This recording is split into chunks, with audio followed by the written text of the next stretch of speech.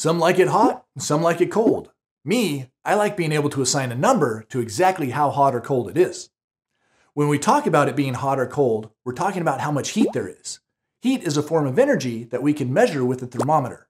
And it's a good thing we can because not everyone agrees on how warm warm is or how cool cool is. But when we measure heat, we can get a value that people can agree on. And that value is called temperature. Temperature is measured in units called degrees.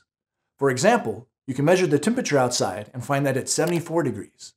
This symbol that looks like a little circle raised up means degrees. Some people might think that 74 degrees is cool, and some people might think that 74 degrees is warm, but they can agree that it is 74 degrees out. But there's still possibility for confusion. To some of you, 74 degrees is really, really hot, and that's because there's more than one scale for measuring temperature. So to know what temperature something is, you need to know more than just the number of degrees, you also need to know what scale you're using. The two most common scales of temperature are called Celsius and Fahrenheit. The Celsius scale is based on water. Water freezes at 0 degrees Celsius and it boils at 100 degrees Celsius. The Fahrenheit scale is a little more complicated. In the Fahrenheit scale, water freezes at 32 degrees and it boils at 212 degrees. To get a better idea of Celsius and Fahrenheit, let's look at this thermometer. It shows the Celsius scale on this side and the Fahrenheit scale on the other. Both scales use degrees to measure temperatures, and they have marks every 10 degrees. But you might have noticed that there are fewer marks on the Celsius side. That's because a degree on the Celsius scale is a different size than a degree on the Fahrenheit scale. A degree in Celsius is about twice as big as a degree in Fahrenheit. To be exact, it's 9 fifths as big.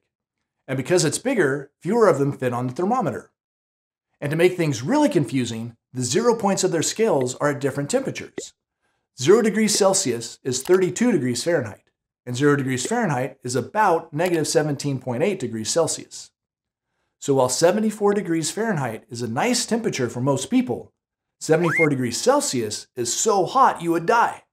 And so it is really important to know how to convert a temperature from one scale to the other scale. To convert temperatures, you have to do two things.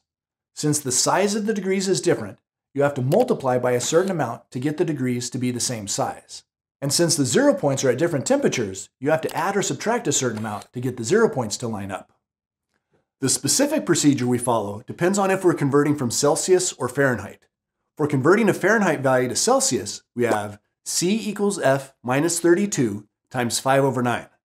This tells us that to get the Celsius value, we take the Fahrenheit value and subtract 32.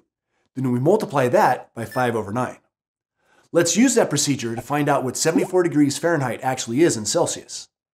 First, we take our Fahrenheit value, 74, and subtract 32. 74 minus 32 equals 42. And then we take that and multiply it by 5 over 9.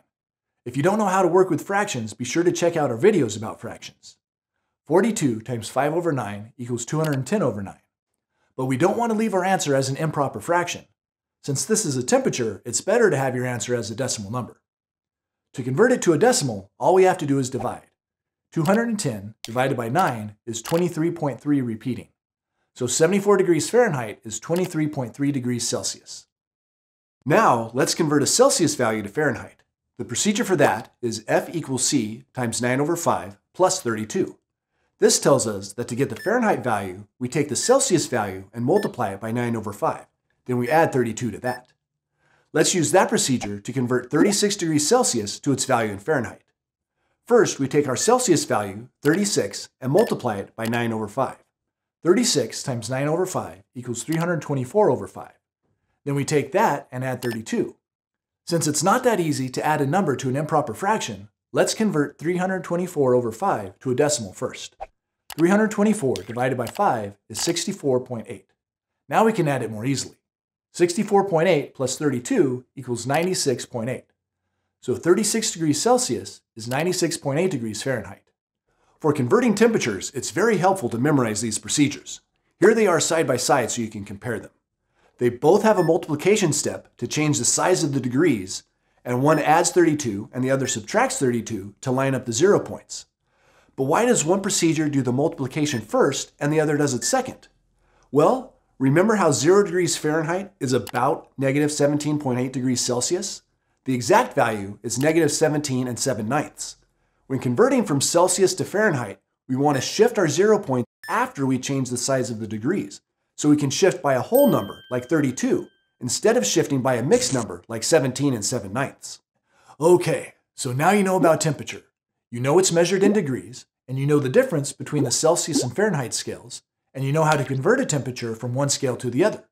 But remember, the way to get good at math is to practice. So be sure to do some problems on your own. And to purchase access to our printable worksheets, check out mathantics.com.